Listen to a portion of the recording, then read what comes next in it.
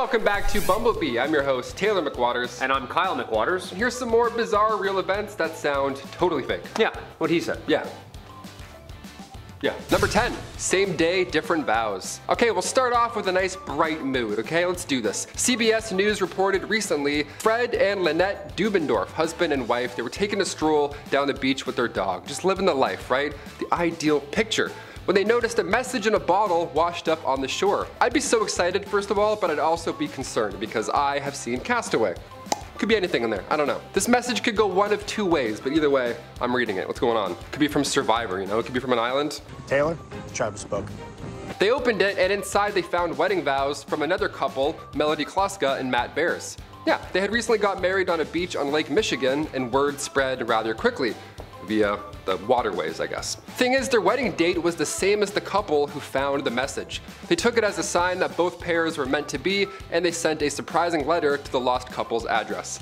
That'd be kind of creepy though on one hand, wouldn't it be? Hey, I found that message in a bottle. Here you go. Nice address, by the way. Love the furniture. Are you guys still together? Number nine. Run, rabbit, run. Yeah, so apparently Australia has like every animal in the world except the cute little fuzzy ones. Yeah, every stinger, wing, and venom you can imagine. But no cutesies. No. Well, they do now. In 1859, English settler Thomas Austin had been officially noted for the introduction of rabbits into Australia. Yeah, Oryctolagus cuniculus, to be exact. Even though rabbits had already kind of been brought over in the first fleet to the land of Oz. Not much, couple here, couple there. But these rabbits, however, yeah, they started migrating across Australia and destroyed around 2 million acres of land. Pesky widow wabbits.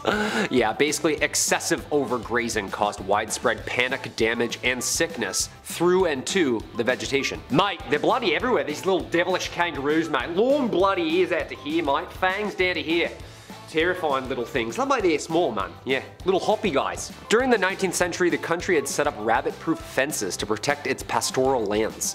Is there even such thing as rabbit-proof fences? Finally, in the 1950s, the Australian government had had enough, started to use biological methods to control the excessive population. Yeah, sorry little guys. This guy's bright idea is believed to have an immense impact on the abundance of natural resources in Australia. Yeah. Thanks a lot, Thomas. Now we have no carrots, man. Number 8. Legendary musical neighbors. It's weird how similar some of your neighbors are, right? Growing up, we had like three Davids on our street. They're all cops. Isn't that weird? I don't know. I just thought of that. They all loved cutting their lawn at 7 a.m. too. What a coincidence. How weird is that? Well, back in the 60s, rock icon Jimi Hendrix and the 18th century composer George Friedrich Handel, well, they were both neighbors. A couple hundred years apart, but neighbors nonetheless. They both lived in 23 Brook Street and 25 Brook Street in London. Now, had George been born, you know, 200 years later, we'd have gotten the greatest collab of all time. Would have been like Watch the Throne, but times three. If you're local, of course you'll know there's a site there now, it's a famous landmark and all that jazz. But in terms of coincidences, there's music in the air. Something's going on on Brook Street. Pick up a, an instrument or two, walk by, you know, try the harp out in that room specifically. Number seven, friendly football. I'm actually happy that this really happened and it's not just like a heartfelt Pepsi commercial that they drummed up in a meeting. Growing up, I thought this was fake due to the circumstances, but nope, this actually happened. During Christmas of 1914, a truce was held between Germany and the UK. Like these people were trying to like take each other out, but you know, Christmas is Christmas. They decorated their shelters with lights and colors, exchanged gifts at no man's land, and played a game of football between the soldiers. Yeah, isn't that nice? Soccer, of course, not football football. Just like dudes smashing into each other. Both Germany and the UK refused to declare an official ceasefire, but both sides declared a temporary ceasefire on their own. They gathered and celebrated Tizzing the Season by singing carols, wrapping up gifts for each other, drinking some drinks, laughing some laughs, and of course, a slide tackle or two. Yeah, yeah, captains, captains, come to me. Yeah, it's gonna be a red card for Gunter. Yeah, back five, please. I said back five. Go ahead, man. Number six, Yanny and Laurel. Okay, for our halfway point here, we have to throw in a fun recent one as well. This is kind of unbelievable, I don't know. I hope people look back on these in a thousand years, they'll be so confused what happened with Yanny and Laurel. Who were these people? Why did they talk about them so much?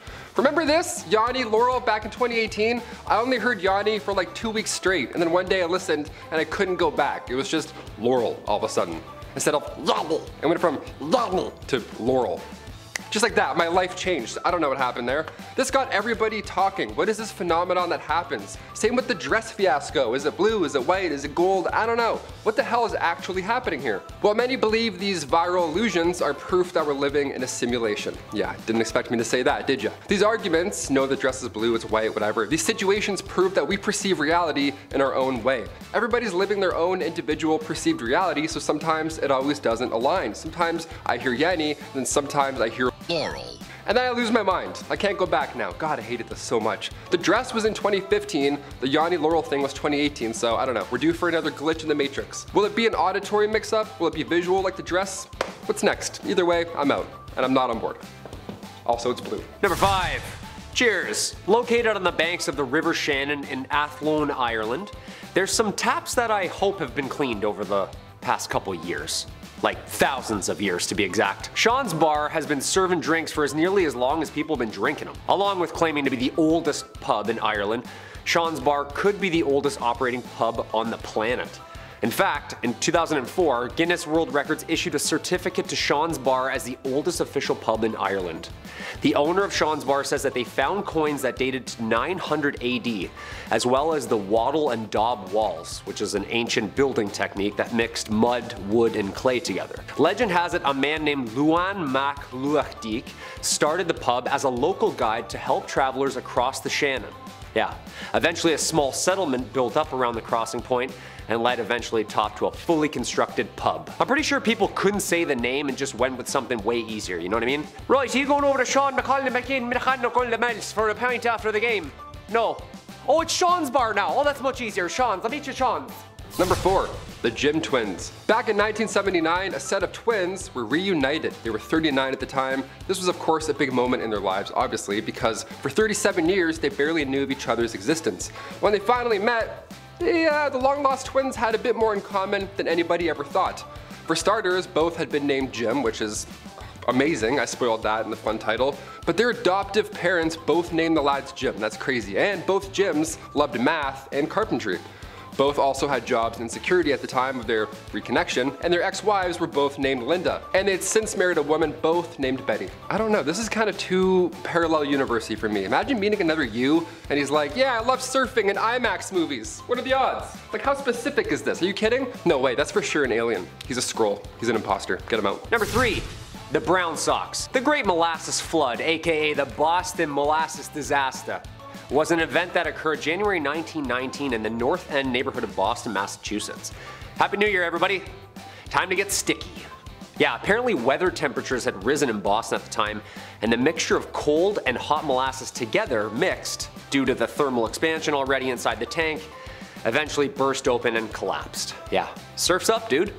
2.3 million gallons of molasses, actually, weighing around 13,000 tons, and resulted in a wave of molasses about 25 feet high. Yeah, just rushing through the streets at an estimated 60 kilometers an hour. Sadly, killing around 21 people and injuring about 150. Yeah, yikes. The event entered local folklore and residents claimed for decades afterwards that the area still smelled of molasses. Yeah, Boston Brown Sox. How did we miss that? That would have been great. White Sox, Red Sox, Brown Sox, no. It was reported in papers that, quote, everything that a Bostonian touched was sticky, you know? hey, this brown goop, yeah, it's wicked sticky. Watch your feet. Number two, brand new bees. Yes, about time. A lot of us know bees is pretty harmless. They're fuzzy little pollinators. Unless, of course, you're allergic, then in that case, get out of here, just run, we got you. But bees normally do a lot more good than harm. That was, of course, until an experiment in the 70s went south and created an entirely new crossbred evil bee. Awesome, look out I guess. This experiment was to take a regular honey bee and then breed it with a bee that's found in Africa that produces way more honey. And then of course the goal was to produce a manageable bee that would also provide more honey than a regular honeybee, right? Just better stuff. Well, the bees that came out were a lot less manageable, turns out, and they didn't even make more honey. Just, uh, just an F all the way down. Throw some F's in the chat, boys. After this experiment ended, however, the bees got out into the environment, and then the 80s saw the beginning of some bee trouble. Yeah, they got out. Heads up, guys. New bees. Imagine that, being like, yeah, the bees got out. Yeah, they're new, we don't know. We don't know what they like to do. These bees are not only aggressive towards other kinds of bees, which, okay, relax, world star, that creates a huge problem, but they're also very aggressive towards humans. And when these bees sting you, their stinger stays with them. So they can, you know, keep Julius Caesaring you over and over instead of losing the, losing the shank. Victims of these swarms receive 10 times the amount of stings as a regular swarm. Awesome. And they react to disturbances 10 times as fast, and they'll also chase said disturbance a quarter of a mile. So hope you got your running shoes on today. These bees have actually caused at least a thousand deaths also. So yes, keep your heads up. They're definitely deadly. Number one, tree huggers. Gotta end on a nice one, you know what I mean? Just spent some time up north climbing, planting some trees myself this past weekend, but you know, the great tree. Yeah, can't really climb this one. The Great Banyan Tree is located in Howrah, India. It's huge, like huge, huge, and beautiful. The entire garden is actually one individual tree that spans 4 acres and is over 80 feet tall, making it one of the natural marvels of the world. Why is this not a UNESCO World Heritage Site by now? It was planted by locals of unknown almost 300 years ago. That's nice. The old Great Banyan tree has roots that cover vast distances. Yeah, just for some numbers here, that's as wide and round as a Walmart. This thing is bigger than a Walmart. The canopy is all connected like the neural highway of a brain, connecting to each other in one giant labyrinth of root and leaf. Of course, the Sherman tree in California that was planted is the largest tree, but the humanity alone of this sacred tree humbles us in how small we are, how connected we could be, and the beauty of what a little bit of patience can do. That's nice.